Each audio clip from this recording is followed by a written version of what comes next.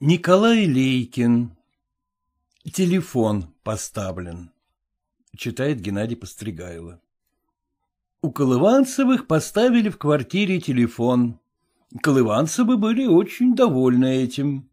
Уходя на службу, Колыванцев говорил своей жене, которая была лет на двадцать моложе его.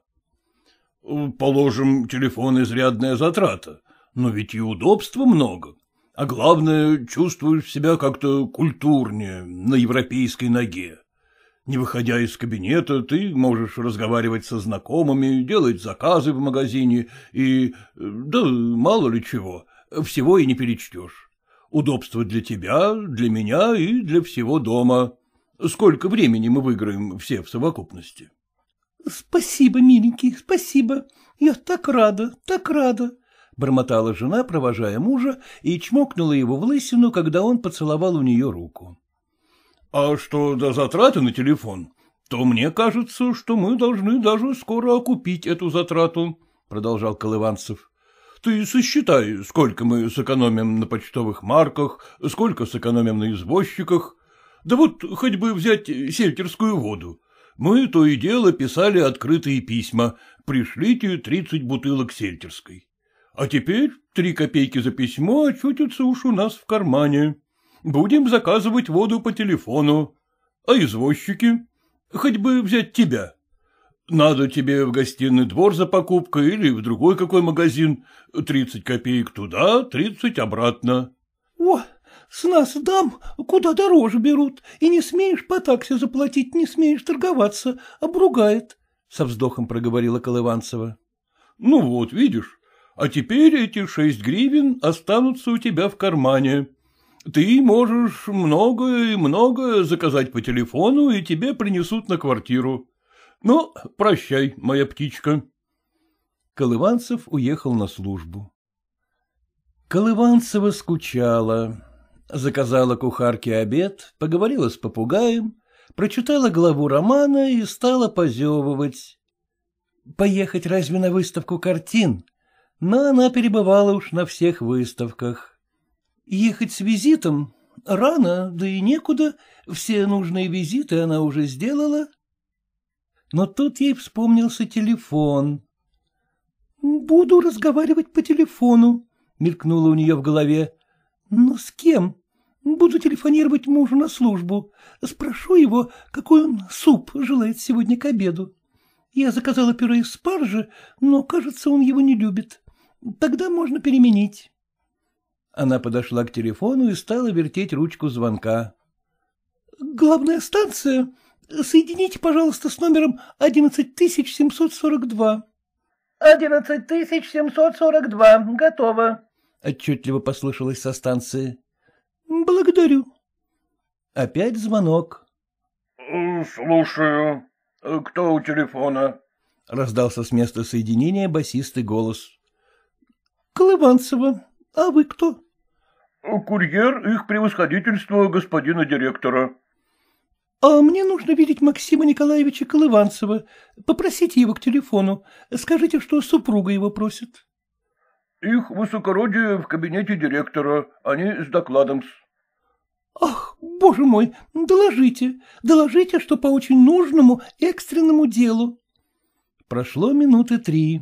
Колыванцева стояла у телефона, держала телефонную трубку у уха и давала продолжительные звонки. Наконец послышался голос Колыванцева. — Лизочка, ты у телефона? Говори скорее, что случилось. — Ничего не случилось, — отвечала Колыванцева. — Но я заказала кухарке к обеду суп-пюре из спаржи и вспомнила, что ты протертых супов не любишь. Какой ты хочешь суп? Тогда можно будет переменить. Боже мой! Из-за таких пустяков ты меня вызываешь к телефону и отрываешь от дела. Я ведь не весь что подумал. Просил прервать доклад и сделал невежество. — Ну, что за важность? Так какой суп? — Да суп ли мне? Я не знаю, как теперь оправдаться перед директором. Он спросит о причине перерыва. Скажу, что у нас в квартире пожар начался, что ли. Прощай. — Так э, какой суп? Хочешь борщ с сосисками? Но ответа так и не получилось. послышался отбой. — Дурак, совсем дурак. Я к нему всей душой, а он дрянь, — проговорила с неудовольствием Колыванцева и надула губы. — С кем бы еще поговорить по телефону? Задала Колыванцева себе вопрос и стала перебирать книгу абонентов. Но знакомых фамилий не попадалось. Вдруг ей мелькнула фамилия знакомой кондитерской. — Заказать разве ромовую бабу к чаю? Сегодня мы вечером, кажется, дома. Звонок. — Соедините. Она сказала номер телефона. «Э, — Слушаем-с.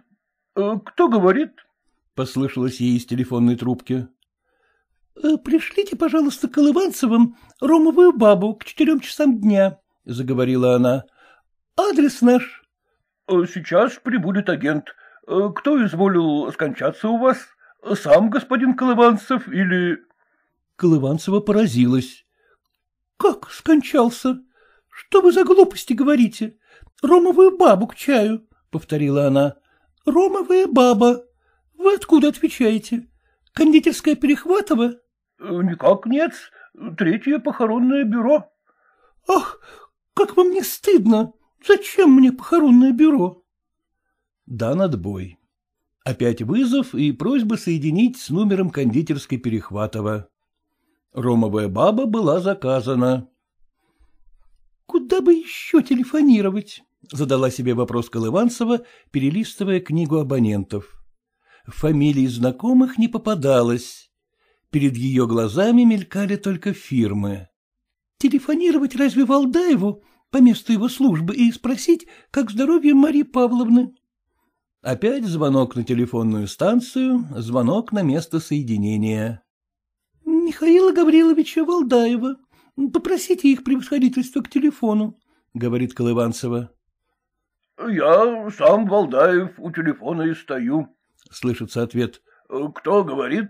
Откуда говорят? — Из квартиры Колыванцева. Я Колыванцева. — Ах, Елизавета Ивановна, да разве у вас э, телефон есть? Это для меня новость.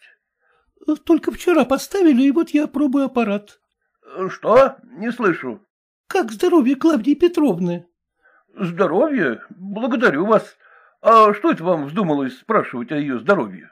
— А я ее сегодня во сне видела. Она золото считала, а это, говорят, нехорошо, — соврала Колыванцева. — Так здорова она, очень рада. Передайте ей мой поклон. Желаю вам всего хорошего. Все.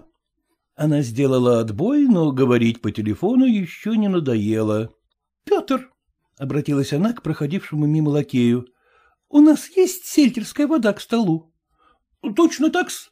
Ведь мы, барыня, на прошлой неделе выписывали. Больше пятнадцати бутылок еще есть, — отвечал лакей. — Все равно, закажу по телефону еще тридцать полубутылок, — подумала она и стала звонить на станцию, чтобы соединили со складом минеральных вод а затем стала слушать через телефонную трубку. «Э, — Кто говорит? Откуда говорят? — раздался вопрос. — Из квартиры Колыванцева. Пришлите, пожалуйста, тридцать полубутылок сельтерской и десять бутылок разных фруктовых вод, — крикнула Колыванцева. — Адрес вам известен. — А которую акушерку вам желательно к телефону? У нас их четыре. — Как акушерку? Да откуда говорят? Городской родильный приют. Что за глупости? Это ошибка. Мне нужно десять тысяч четыреста семьдесят два. Да, десять тысяч четыреста семьдесят два. Это наш номер. У вас родильница? Вы желаете ее прислать в приют? Ну, стало быть, я перепутала номер. Да-да, перепутала. Десять тысяч триста семьдесят два мне надо. В нашем приюте местов нет, но мы можем справиться, где есть места. Э, который номер вашего телефона? Но Колыванцева уж не отвечала. Она повесила трубку и позвонила отбой. Сельтерская вода была заказана, фруктовые воды тоже. — Как это удобно, — рассуждала Колыванцева. — Не посылать с заказом человека, ни карточки почтовой посылать. Буду записывать экономию, которая произойдет от постановки телефона, а по прошествии месяца предъявлю эту запись мужу. Она тотчас же села к письменному столу мужа, оторвала листок для памяти и написала. «Человеку на конку в кондитерскую за ромовой бабой двенадцать копеек. Открытое письмо для заказа сельтерской воды три копейки.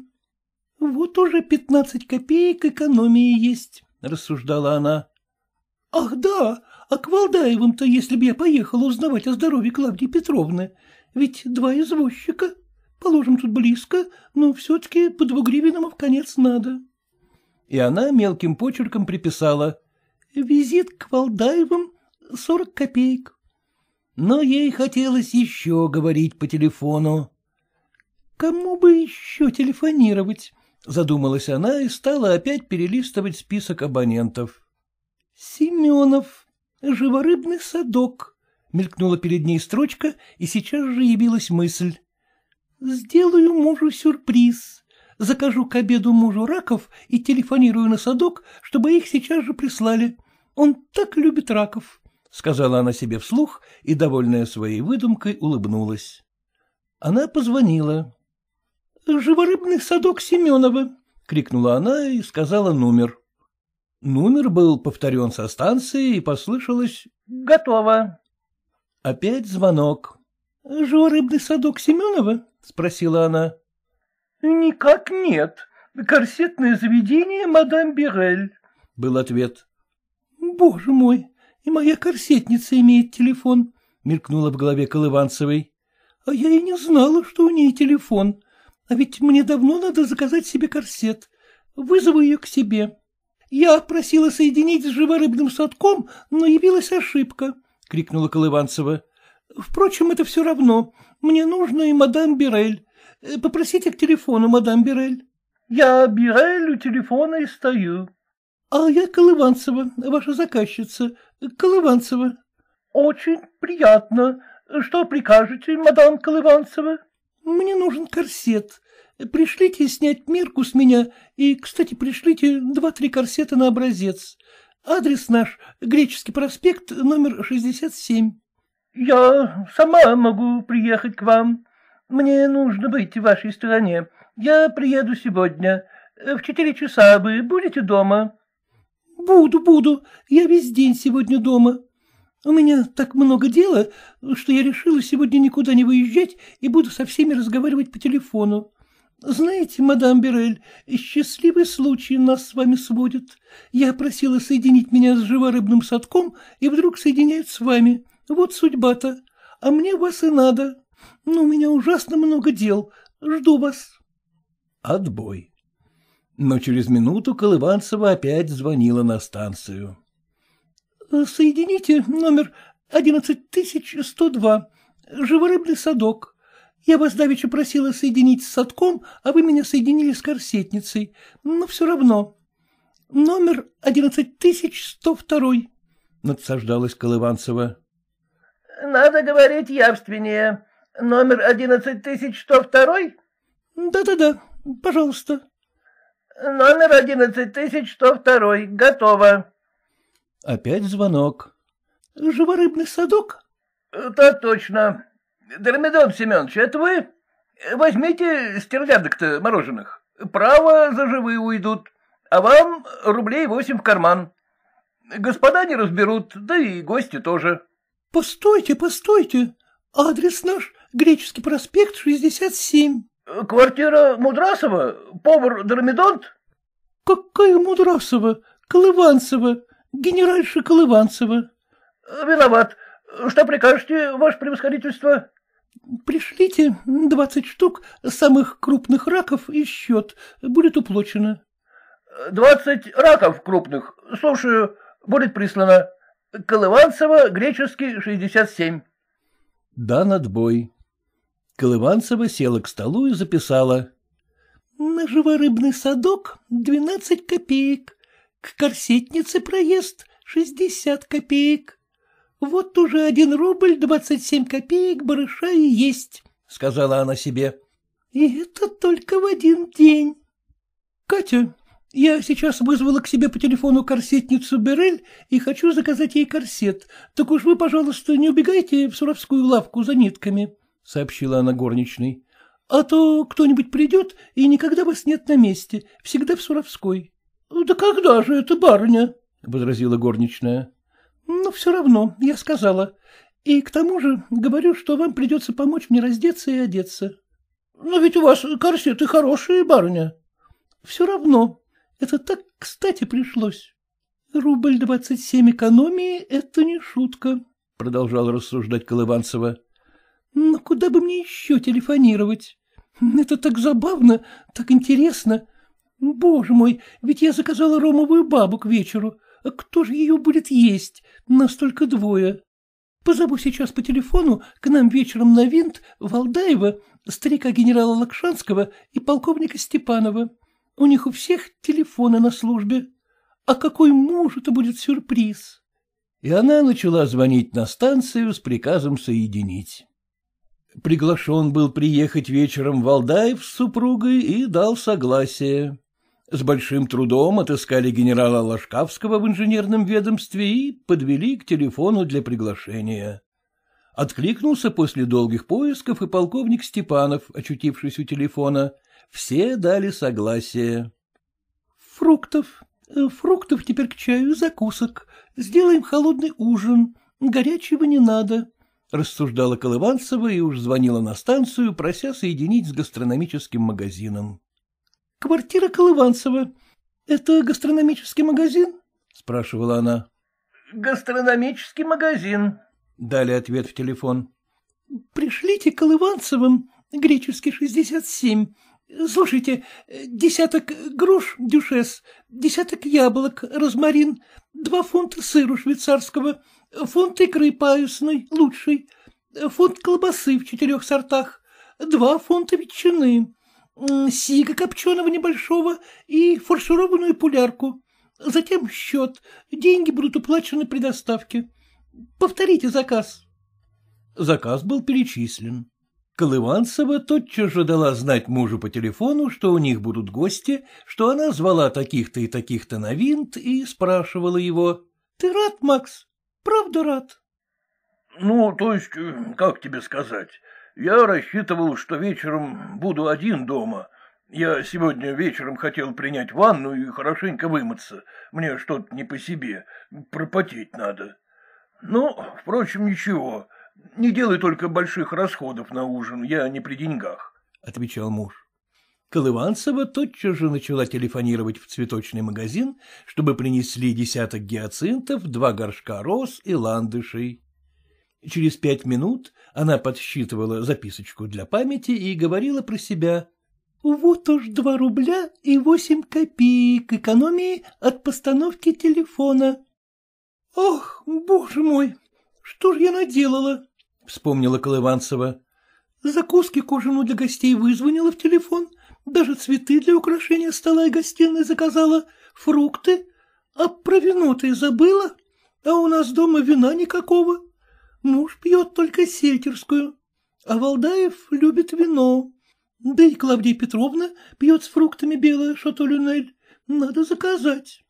Она поспешно бросилась к книжке телефонных абонентов, открыла чей-то погреб иностранных вин и через пять минут уже звонила у телефона на станцию. — Номер девять тысяч семьсот тринадцать. Прошу соединить. — Готово. Номер девять тысяч семьсот тринадцать послышался ответ. Опять звонок. — Магазин иностранных вин? — кричала Колыванцева. — Так точно. Э, что прикажете? Откуда говорят? — Из квартиры генерала Колыванцева, греческий 67. Пришлите, пожалуйста, вина к пяти часам сегодня. Деньги будут уплачены при доставке. Греческий 67. — Греческий 67, Колыхаеву. Не Колыхаеву, а генералу Колыванцеву. — Колыванцеву. Э, какого вина прикажете? — Одну бутылку Шато-Люнель, одну бутылку Мадеры, потом красного. Э, — В какую цену Шато-Люнель? В какую цену Мадеру? Она не знала, в какую цену муж покупает вино, и отвечала. — Хорошего вина, самого хорошего. — Пять рублей бутылка? — Ну, пять рублей. — сказала Колыванцева наобум. — Затем красного вина. — Бордосского или бургонского? — допытывались из винного погреба. Колыванцева опять встала в тупик. «Э, — Какого хотите? Ну, бургундского, что ли? — Шамбертен, может быть? Э, — Хорошо, шамбертен, да коньяку полбутылки. — Все по пяти рублей? Да — Да-да, только чтобы было хорошее. — Такайского не прикажете ли? Есть особенное. Э, — Какое? — переспросила Колыванцева. — Такайское, венгерское. Она не слыхала о таком вине, не знала его, но, чтобы не уронить своего авторитета, отвечала. «Э, — Да-да, э, все равно, пришлите, только чтобы было хорошее. Был дан отбой. Но Колыванцева разохотилась звонить в телефон и опять звонила на станцию, чтобы соединили с кондитерской. — Не отправили еще Колыванцеву ромовую бабу? — спрашивала она. — Сейчас отправляем, — отвечали из кондитерской. Через полчаса будет у вас. — Погодите. Вместе с ромовой бабой прошу прислать сливочный пирог в два рубля, сливки и бисквиты. Уберите мелким шоколадом. Э, — Будет исполнено. — Совсем упустила из виду сладкое, — рассуждала Колыванцева, дав отбой и отходя от телефона. — А ужин без сладкого, как будто и не ужин, особливо холодный. Она опять присела к столу и прибавила на записку для памяти еще сорок копеек на проезд в кондитерскую и погреб, если б у них не было телефона. — Два рубля и сорок восемь копеек экономии, и только в один день. А сколько же это в месяц-то придется? — сказала она себе вслух и тут же подумала. — Большое удобство этот телефон. Ведь вот не будь его, у нас сегодня и гостей бы не было. Разве можно в один день, даже в один час, при одной мужской прислуге из трех домов гостей позвать и закупить все нужное для угощения? Да и сколько бы записок пришлось писать. А тут экономия труда, экономия времени. Она опять позвонила в телефон и вызвала к телефону мужа. — Макс, это ты? Отлично, радуйся. Телефон приносит огромное удобство, — кричала она. Я созвала тебе гостей на винт, заказала ужин, вино и фрукты. Ты рад? — Друг мой, ты меня совсем попусту отрываешь от дела. Я так занят сегодня на службе. — послышался голос мужа. — Третий раз ты меня отрываешь. А ходить к телефону так далеко. — А что за важность? Нелюдим, суровый и черствый. Только дела одни на уме. Сердито ответила она и дала отбой у телефона. Наконец приехала мадам Берель снимать мерку для корсета, и Колыванцева оторвалась от телефона. Около часа она занималась с корсетницей и сделала ей заказ. Затем из магазинов начали приносить заказанное по телефону. Принесли из кондитерской ромовую бабу и пирог, из фруктового магазина фрукты, потом закуски и вино. У Колыванцевой не было денег, чтобы рассчитаться за принесенные покупки, и она говорила принесшим. — Вам придется с полчаса подождать, пока муж вернется со службы. Вернется он и уплатит по вашим счетам. Он теперь скоро будет дома. Подождите. В шестом часу приехал домой муж со службы. Он был голоден, не в духе, мрачный и усталый. Сухо поцеловав жену, он прошел в кабинет. Жена следовала сзади. — Макс, а я без тебя накутила по телефону, — виновато говорила она. — Вот счета, по которым надо заплатить.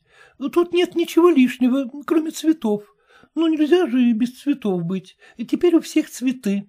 Нас и то осуждают, что у нас редко бывают цветы. А сегодня у нас гости. — Не следовало бы гостей-то звать, — сердито пробормотал Колыванцев. У меня и так денег в обрез. — Ах, друг мой, меня телефон соблазнил. Но зато у тебя сегодня будет винт, твой любимый винт. И Колыванцева ласково чмокнула мужа в лысину. Когда Колыванцев увидал счета поставщиков, он ахнул. Ему пришлось заплатить что-то больше шестидесяти рублей. — Ты меня совсем разорила. Я ведь последние деньги отдаю, — говорил он. Зачем ты сельтерской-то воды заказала? Ведь у нас есть вода. — Ах, да ведь телефон, — вздохнула Колыванцева. — И вино. Зачем такое дорогое вино? Мы никогда такого не пьем. Ведь это ужас, сколько заплатить приходится. И фрукты. К чему такие дорогие фрукты? — Не сердись, я тебе сюрприз приготовила. Зато у нас сегодня к обеду будут для тебя раки. — А для раков теперь даже и не время. Сиделые. Они хороши только летом. Фу, сколько денег. А я так стесняюсь. И чего это тебе вздумалось? Ай, надо платить. — Телефон, Макс, — оправдывалась Колыванцева. — Телефон. Кряхтя от неудовольствия, Колыванцев послал с лакеем деньги ожидавшим поставщикам. О заказе корсета Колыванцева не сказала мужу ни слова, но в утешении его подсунула ему записку для памяти и проговорила. — Зато посмотри, сколько в один день принес нам этот телефон экономии. Два рубля сорок восемь копеек. Два рубля сорок восемь. Эти деньги мы должны были бы заплатить за проезд за покупками. За проезд и на письма, если бы у нас телефона не было. А тут экономия. — Да, экономия. Хороша экономия. Два рубля сэкономили из-за телефона, а шестьдесят рублей слишком издержали из-за того же телефона. И только из-за телефона, черт его возьми! — сердито бормотал Колыванцев. Вечером у Колыванцевых были гости, и он проиграл им винт двадцать два рубля. — А всю телефон проклятый! — мысленно воскликнул он, и лицо его покрылось красными пятнами.